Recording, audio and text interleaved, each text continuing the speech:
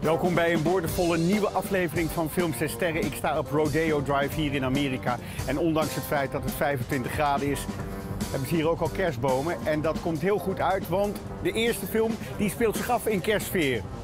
I feel like the, the guy who's not seasoned here. It's, it's pretty weird. Dan kreeg actrice Famke Jansen hier een prijs voor haar carrière.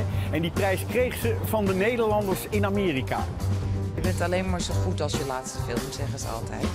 En we kijken even op de set van Red Bad, de nieuwe film van Roel René. Want dat belooft allemaal heel spectaculair te worden. X-Men, James Bond en Taken. Dat zijn slechts een handjevol Amerikaanse producties waarin Famke Jansen te zien is. Voor haar bijdrage als Nederlandse actrice in Hollywood kreeg zij een oeuvreprijs uitgereikt door de Dutch American Heritage Association. En ik ben even gaan kijken. We zijn hier bij een bijeenkomst waar mensen heel erg trots zijn op hun Nederlandse afkomst. Voel jij dat ook zo? Uh, nou, vanavond wel. En als jullie blijven, dan hoor je dat wel in mijn speech. Daar zitten nog wel wat dingen aan uh, uh, die speciaal daarover gaan. En uh, ja, ik ben natuurlijk de helft van mijn leven heb ik in Nederland gewoond en de andere helft in Amerika. Of meer dan de andere helft nu in Amerika.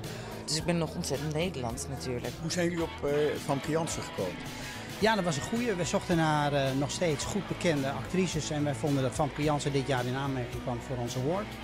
En ik ben uiteraard een fan van onze Dutch heroine. Zo. Dus dat hebben we erdoor kunnen krijgen. En daar ben ik heel blij mee. En wij allemaal eigenlijk daar krijg je vanavond een soort van carrièreprijs. Ja. Heb, gebeurt dat je vaak, dat je van dit soort ereprijzen krijgt? Nee, uh, dat gebeurt heel weinig. En ik kom wel natuurlijk als de man die aanbiedt. Dan denk ik van, oh, een prijs, ik neem hem. Want als je nu kijkt naar, het is een soort tribute. Dus het gaat over van wat je allemaal gedaan hebt in je carrière. Als je daar dan naar kijkt, denk je dan ook van... Nou, dat is eigenlijk best wel een hele mooie carrière. Nou, nee, eigenlijk voelde ik me ontzettend oud. Want ik moest ook kijken naar foto's van mijn modellenwerk. En het was gewoon echt zo, ik moest opeens helemaal terug in het leven gaan van wat er allemaal...